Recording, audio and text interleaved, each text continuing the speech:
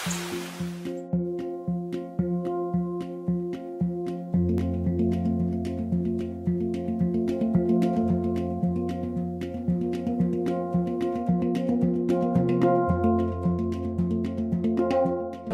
se pred otvorenjem izložbe diplomskih studija Akademije primjenjenih umjetnosti sveučilišta u Rijeci.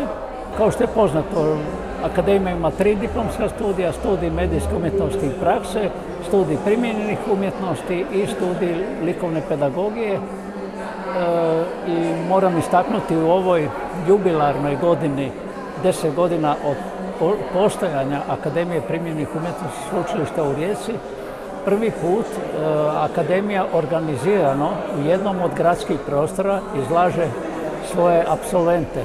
Izložbu kao što imate priliku vidjeti zastupljeno je slikarstvo, kiparstvo, grafika i crtež kao temeljne, da tako kažem, ovaj, e, medijske preokupacije naših studenata, no međutim ovdje ima izuzetno puno i fotografije i proširenih medija i svega onoga što se u biti obavlja e, na studiju medijske umjetnosti i prakse. Znači, studenti eksperimentiraju sa novim medijima, eksperimentiraju s novim izrazima. Tako da ovdje je jedna ovako šarolika priča za svakog to nešto i mislim jako interesantna kad se ovako iznese iz akademije van i postavi na zidove ovaj, sve skupa se dojma puno drugčije od onoga na što smo navikli dnevno gledati u našim prostorima.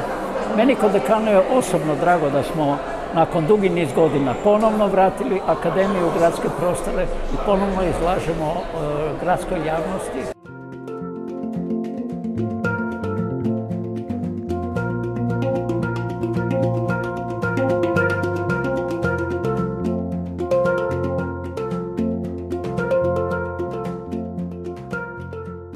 Pa ovo su isključivo radovi iz jedne serije koju pripremam za način za magisterij. E, ovo su trenutno dva rada, deset će ih biti u seriji.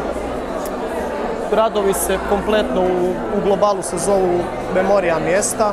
Znači nadovezao sam se na povijest ustanove u kojoj sam sada i ustanova kakva je kao umjetnička akademija. Pa isključivo na ove radove me impresionirala ta monumentalnost naše zgrade, mjesta gdje studiram, tako da sam želio povezati e, dvije općenito utilitarnost akademije kakva je bila prije i sada neka sloboda uz neku propagandu i skrivene poruke unutar radova. A moja inspiracija je, pa ne znam, trenutna događanja općenito, neki, neki dadaizam kao na primjer provokacija društvu i tako dalje. Pa prvo treba rezimirati općenito o čemu će se raditi, e, vidjeti u kojoj tehnici će se to upriličiti i kako bi to moglo približiti narodu općenito da oni primijete poruku te slike.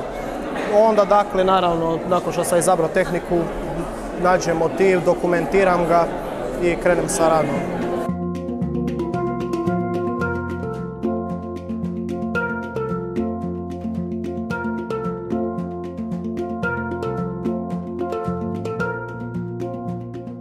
Stvari su veoma jednostavne, pogotovo u umjetnosti. Znate, u umjetnosti je sve to jako pojednostavljeno. Vi ili, ili radite ili ne radite. Mislim, nema neke sredine.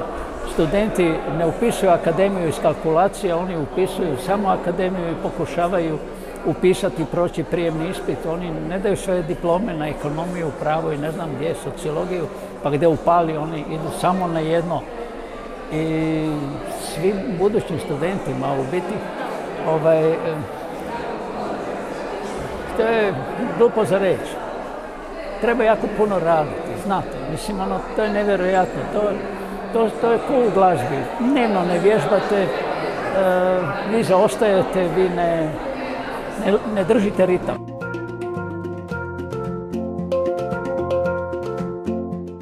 Svi naši obožavatelji akademije koji eto vole pogledati studentski, iskren studentski rad, ovaj, mislim da bi bilo dobro da ga dođu vidjeti.